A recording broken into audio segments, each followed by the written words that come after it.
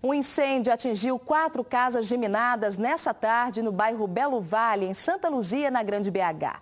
O Corpo de Bombeiros foi chamado, usou 7 mil litros de água e conseguiu controlar as chamas a tempo de ninguém ficar ferido. A causa do fogo ainda é desconhecida. As residências foram interditadas pela Defesa Civil devido ao risco de desabamento.